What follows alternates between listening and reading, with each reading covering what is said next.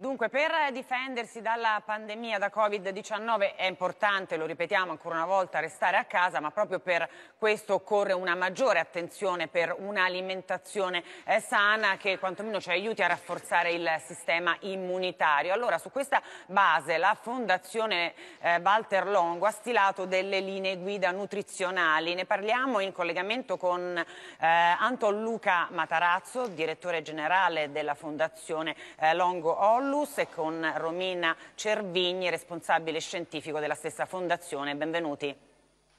Buongiorno. Grazie, buongiorno. Matarazzo, parto buongiorno. da lei e le chiedo di spiegarci che cosa prevedono queste linee guida nutrizionali che sono state eh, preparate appositamente perché anche l'alimentazione possa contribuire a combattere il virus. Sì, più che, più che, contribuire a combattere il virus abbiamo ritenuto necessario e doveroso eh, stilare un documento, un vademecum, un, uno strumento di agile lettura che potesse in qualche modo aiutare le persone a sostenere adeguatamente il, il sistema immunitario e, e, nutrirsi con consapevolezza.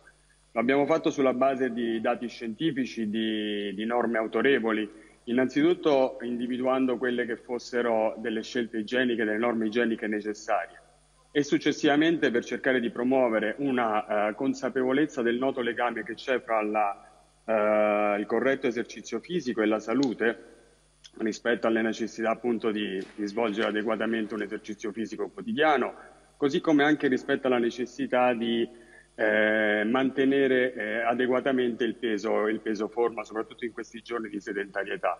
Dall'altro canto informare in merito ai nutrienti necessari e principali di cui il sistema immunitario ha bisogno per potersi far trovare pronto e attivo.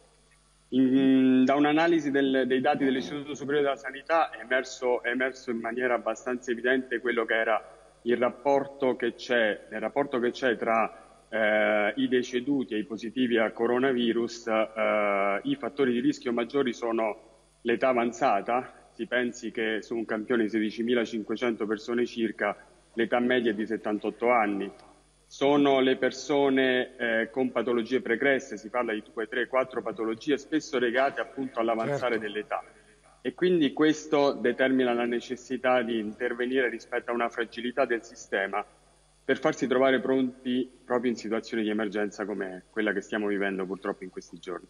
Senta Cervigni, che esempi si possono fare concreti, lo chiedo a Cervigni, di alimentazione corretta?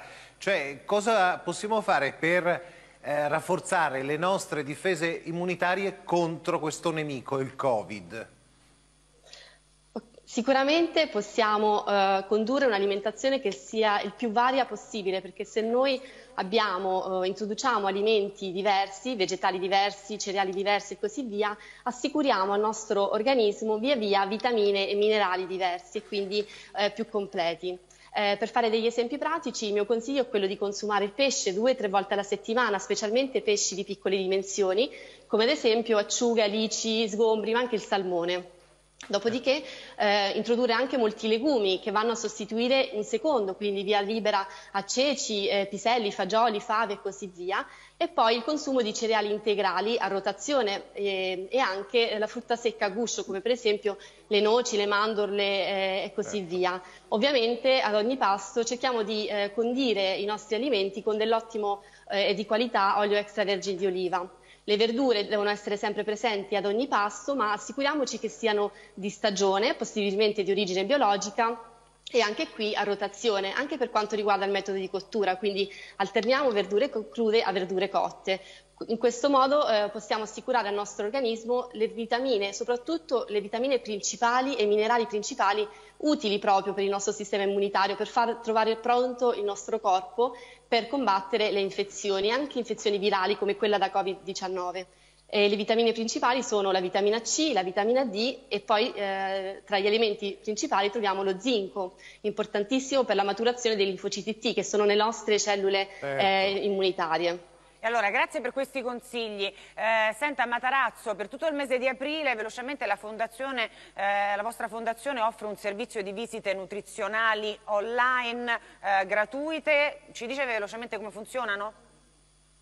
Sì, innanzitutto il programma è un programma un po' più completo, è un vero programma di longevità per tutti, messo insieme dalla Fondazione per garantire attraverso una, una, una fruizione online di una serie di attività, proprio per intervenire e sensibilizzare le persone rispetto a quello che sono i fattori di rischio uh, che sono in qualche modo acceleratori dell'invecchiamento, certo. perché è l'unico modo per garantire un, uh, una, un generale stato di salute adeguato e eh, abbiamo previsto assistenze nutrizionali e visite online per tutte le persone che volessero migliorare appunto la, la, il proprio Quindi, quindi basta andare sul, sul, sito online, lì ci sono tutte sul le indicazioni. Sul sito fondazionevalterlongo.org ci sono una serie org, di e lì si possono, si possono, trovare tutte queste informazioni. Grazie, grazie mille per essere esatto. stati grazie con a noi. Voi. Grazie, grazie per le informazioni. Grazie a voi. Diamo la linea all'informazione, Renis 24. Tra poco.